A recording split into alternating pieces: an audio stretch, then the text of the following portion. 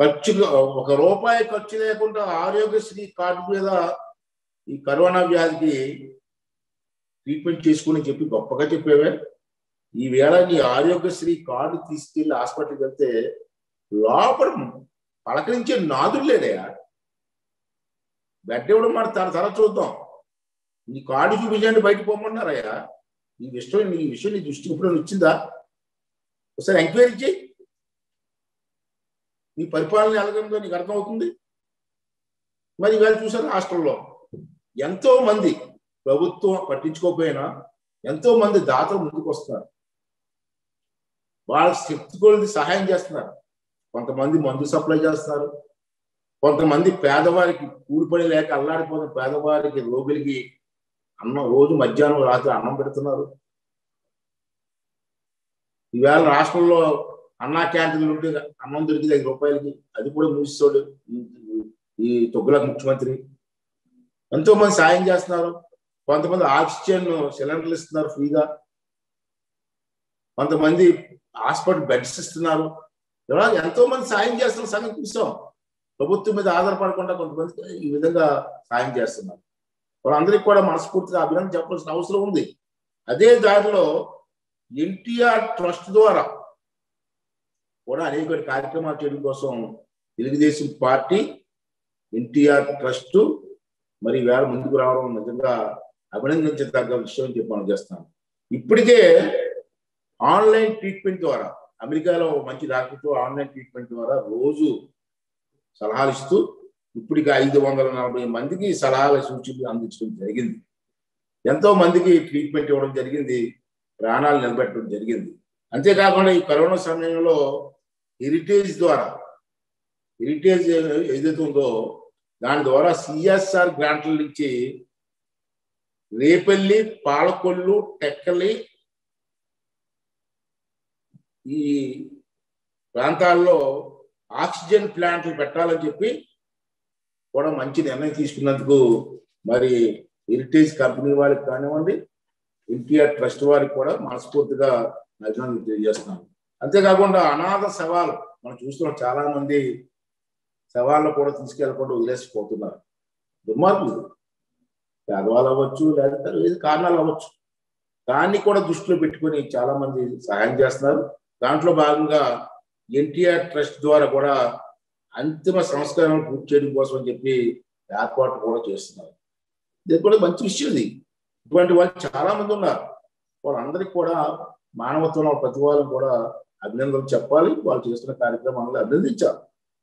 ప్రభుత్వం చేయకపోవడం వీళ్ళు చేస్తున్నారు. ఇలా మరో ముఖ్య విషయం ఏంటంటే ఒకటి అర్థం చేయాలి మనం.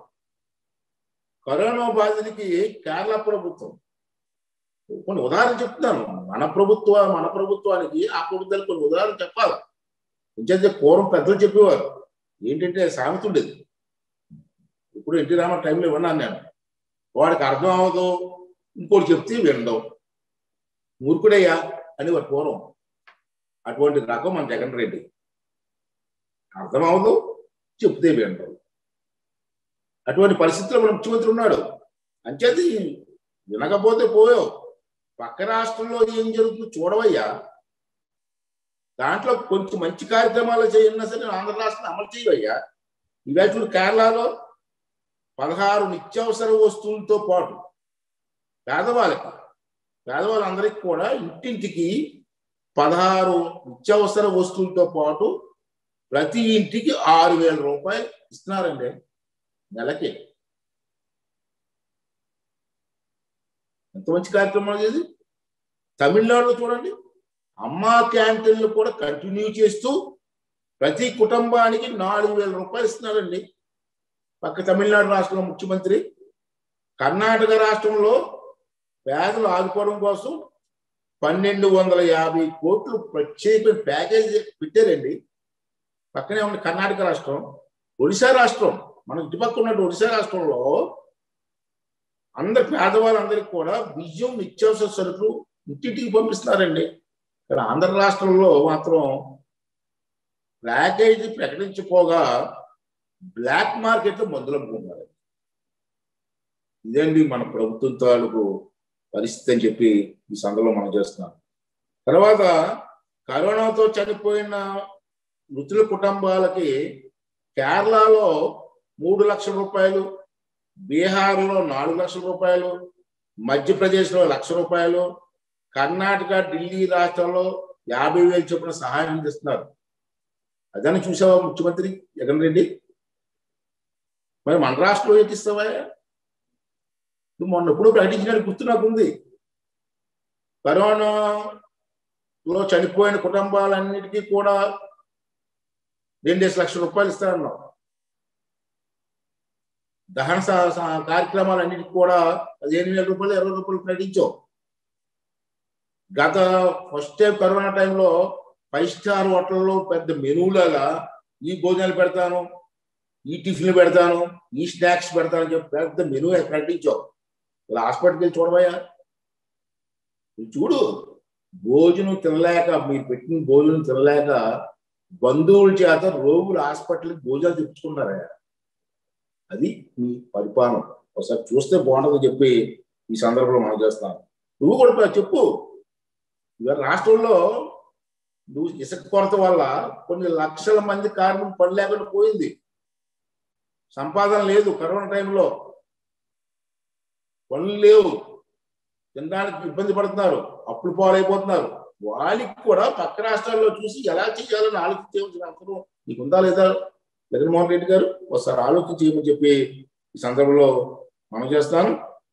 అంతేకాకుండా నేను ఇంకో విషయం ఏంటంటే ఈవేళ ఒక్కసారి ఈవేళ మనం చూసాం. భారతదేశమే కాదు ప్రపంచవ్యాప్తంగా కరోనా ఉంది. మన భారతదేశం మొత్తం అన్ని రాష్ట్రాల్లో కరోనా ఉంది. మన భారత ప్రభుత్వం జాతీయ విపత్తులు అనౌన్స్ చేశారు. ఇటువంటి టైంలో ఇటువంటి టైంలో అన్ని పార్టీ పెద్దలతోటి అనుభవం ఉన్న డాక్టర్లతోటి అనుభవం ఉన్న వ్యక్తులతోటి సైంటిస్టులతోటి ఒక మీటింగ్ పెట్టి మన రాష్ట్రంలో కరోనాని ఎలా ఎదుర్కోవాలి అన్న విషయం మీద చర్చించాల్సిన అవసరం లేదా? ఎవరితో మాట్లాడు? ఎవరు సలహాలు తీసుకోవు? ఒక పక్క సజ్జల రామకృష్ణారెడ్డి ఒక పక్క ఏటు విజయసాయి రెడ్డి మీరు ముగ్గురు. ముగ్గురు మూర్ఖులు కూర్చొని మాట్లాడుకుంటే ఏటొస్తాయి మంచి విషయాలు? ఏటొస్తాయి? మీ ముగ్గురు కూర్చొని మాట్లాడితే ఏం మాట్లాడుకుంటారు? ఎక్కడ దోచుకుందాం ఎక్కడ దోచుకుందాం ఇదే తప్పించి మంచి విషయాలు ఏం మాట్లాడుకుంటారు మీరు? అంచేత దయించి మూర్ఖత్వం మానేసి ఇప్పటికైనా అఖిల పక్ష సమావేశం ఏర్పాటు చేయి. మేధావులను పిలు. అనుకున్న వ్యక్తిని పిలు. ఒక సమావేశం ఏర్పాటు చేయి ఇది పరిస్థితి ఉంది ఏం చేద్దాం? పేదవాళ్ళని ఏ విధంగా ఆదుకుందాం? అనే విషయం మీద చర్చిస్తే బాగుంటుందని చెప్పి నేను మనం చేస్తాను. అంచేత ఇది ఒకసారి మరి ఆలోచించవలసిన అవసరం ఉందని చెప్పి ఈ సందర్భంలో అందరికీ మనం చేస్తూ మరి ఇంకో విషయం ఏంటంటే కరోనా టైంలో వాడవలసినటువంటి ఇంజక్షన్లు కూడా ఎక్స్పైర్ అయిపోయిన ఇంజక్షన్లు కూడా వాడేస్తారండి నేను మా ప్రాంతంలో నర్సీపట్నం జరిగింది. దానికి మళ్ళీ మీరు కవర్ చేసుకోవడానికి ఏదేదో మాట్లాడుతున్నారు మీరు. తప్పది. నేను కామెంట్ చేయట్లేదు. ఎందుకు పొరపాటు జరుగుతుంది?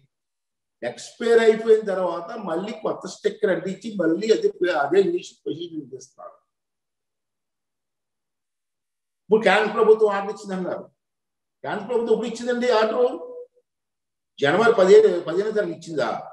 నేను లెటర్ చూశాను. అంటే ఐదు నెలలు అయిందా? ఈ ఐదు నెలలు బట్టి ఎక్స్పైర్ అయిపోయిన ఇంజక్షన్ మళ్ళీ ఎక్స్టెన్షన్ ఇచ్చాం. మీరు అనుమానం పడొద్దు అపోహ పడొద్దు. దీనివల్ల మీకు ఏం అవ్వదని చెప్పి ఎప్పుడైనా అడ్వర్టైజ్మెంట్ చేశారా? ఎప్పుడైనా ప్రజలను ఎడ్యుకేట్ చేశారా? ఎందుకు చేయలేదండి? అంటే ఎవరి ఇష్టం వాడు స్టిక్కర్ అంటించుకోవచ్చా అది మందుల షాప్లోకి వెళ్ళి మందులు కొంటే ఎక్స్పైర్ డేట్ చూస్తాం మనం. అలాగే ఇంత ఇంపార్టెంట్ ఇంజక్షన్ ఇస్తున్నప్పుడు ఎక్స్పైరీ డేట్ చూడరండి. చూస్తే తప్ప అండి.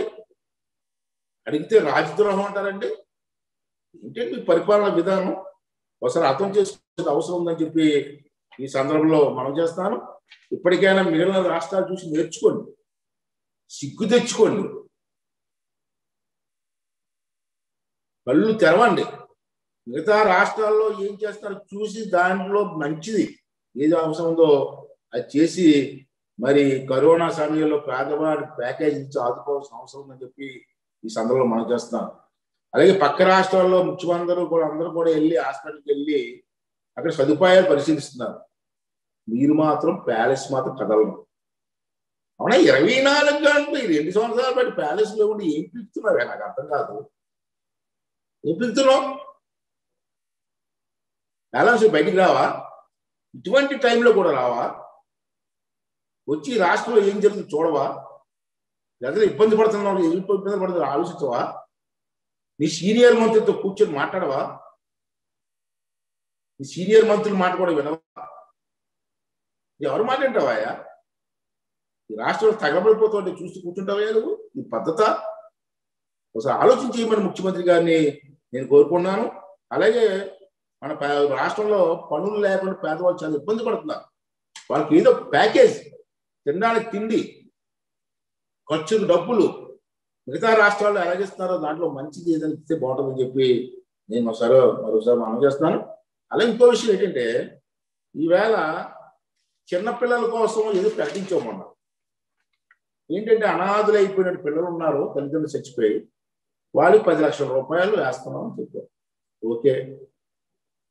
మంచి కార్యక్రమం. కానీ ఇచ్చిన కండిషన్ చూస్తే అది ఉపయోగపడేలా కనపడలేదు.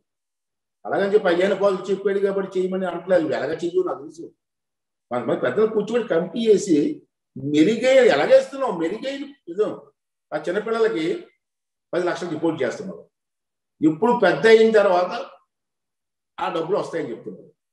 మరి చిన్నప్పటి నుంచి పెద్ద అయ్యే వారికి ఎవరు చూస్తారు పిల్లల్ని? ఎవరు చూస్తారు? అంటే తమిళనాడులో డిగ్రీ వరకు ముఖ్యమంత్రిగా చదివిస్తున్నారు. ఇంకో రాష్ట్రంలో వాళ్ళకి నెలకి రెండు వేలు మూడు వేల రూపాయలు ఒక పెన్షన్ మాదిరి ఇస్తున్నారు. అలా నువ్వు కూడా మనకి మన ప్రాంతంలో రాయలసీమలో ఒకటి విజయవాడలో ఒకటి విశాఖపట్నంలో కానీ విజయనగరంలో ఒకటి ఒక హాస్టల్ పెట్టండి. ఇటువంటి చనిపోయిన పిల్లలందరూ ఎవరైనా ఉంటుంది అనాథులు ఉంటే వాళ్ళు హాస్టల్లో పెట్టి భోజనం పెట్టి చదివించి డిగ్రీ అయ్యే వరకు చదివించి డిగ్రీ అయిన తర్వాత నువ్వు వేసి పది లక్షల రూపాయలు వాళ్ళకి వచ్చేలా చేస్తే వాళ్ళ కుటుంబాలు బాగుపడతాయి వాళ్ళకి అది ఆధారం దొరుకుతుంది. అటువైపు ఏదో ఆలోచించాలి కాబట్టి ఏదో పబ్లిసిటీ కోసం వచ్చేసాను. ఎందుకు ఉపయోగపడదు వాళ్ళు పెద్ద వారికి వరకు ఎవరు పోషిస్తారు వాళ్ళని? పెద్ద వారికి వరకు వాళ్ళు తిండి ఎవరు పెడతారు? పెద్ద వారికి వరకు వాళ్ళు ఎవరు చదివిస్తారు? ఇది ఒకసారి ఒక కమిటీ చేసి మంచి వ్యక్తులు మన మన మన రాష్ట్రంలో కూడా మంచి ఐఏఎస్ ఆఫీసర్లు ఉన్నారు. వాళ్ళు సలహాలు అడుగు. నువ్వు అడగవు వాళ్ళు చెప్పరు. సలహాలు అడిగి ఏ విధంగా వాళ్ళు ఆదుకోవాలో ఆలోచన చేస్తే బాగుంటుందని చెప్పి నా తాలూకు ఆలోచన. మిగతా రాష్ట్రాలకు పరిశీలించమని చెప్పి ఈ సందర్భంలో మీ అందరికీ మనం చేస్తున్నాను. అలాగే ఈవేళ పేపర్లో టీవీలో చూస్తున్నాం. థర్డ్ వే వస్తుంది. ఈ థర్డ్ వే రావడం వల్ల కరోనా రావడం వల్ల చిన్నపిల్లల మీద ప్రభావం చూపిస్తుంది. చిన్నపిల్లలు చాలా ఇబ్బంది పడతారని చెప్పి ఇప్పుడు మన పేపర్లు చూస్తున్నాం. మరి థర్డ్ వేవ్ వస్తుందని చెప్పి సైంటిస్టులు మరి వైద్య నిపుణులు చెప్తున్నప్పుడు ఇప్పటి నుంచి దానికి కావాల్సిన ఏర్పాట్లు చేసుకోవాలి కదా? ఇప్పుడు చెయ్యు. అంతా అయిపోయిన తర్వాత ప్రమాదం ముచ్చుకొచ్చిన తర్వాత అప్పుడు చేస్తే సుఖపెట్టండి ఇప్పుడు ఇది చెయ్యండి అయ్యా. చేస్తే ఇప్పుడు నుంచి మీరు ఏం చేయాలండి? ఇప్పటి నుంచి చిన్నపిల్లల కోసం ప్రతి జిల్లాలో కూడా మినిమం వెయ్యి బెడ్స్ చిన్నపిల్లల వార్డు. చిన్నపిల్లల కోసం వెయ్యి బెడ్స్ ఒక్కో జిల్లాలో పెట్టండి. పదమూడు జిల్లాలు పదమూడు వేలు బెడ్స్ దానికి కావాల్సినటువంటి మందులు కానీ ఇంజక్షన్ కానీ ఇప్పుడు రెడీ చేయండి. ఆక్సిజన్ రెడీ చేయండి. ఈ డాక్టర్స్ కానీ నర్సులు కానీ చిన్నపిల్లలకి ఏ విధంగా ట్రీట్మెంట్ చేయాలో ఇప్పుడు నుంచి ట్రైనింగ్ ఇవ్వండి. పదమూడు వేల బెడ్స్ ఏర్పాటు చేస్తే రాష్ట్రంలో వాళ్ళందరికీ ఇమీడియట్గా ట్రీట్మెంట్ ఇచ్చి వాళ్ళ ప్రాణాలు కాపాడడానికి అవకాశం ఉంటుంది కదా. ఆ చర్య ఇప్పుడు నుంచి ఎందుకు తీసుకోవట్లేదు జగన్మోహన్ రెడ్డి గారు. నుంచి ఆలోచించండి నా ఇష్టం నా రాజ్యం నేను ఇష్టం చేసుకుంటానంటే అది కుదరదు. తప్పది. పద్ధతిలో ఒక ముఖ్యమంత్రి గారిని బాధ్యత ఉంది. అంచేత నీకు తెలియకపోవచ్చు నీకు ఆలోచన లేకపోవచ్చు. మిగతా రాష్ట్రాలు చూసి నేర్చుకోవాలి. పది మందితో మాట్లాడి సలహాలు తీసుకోవాలి.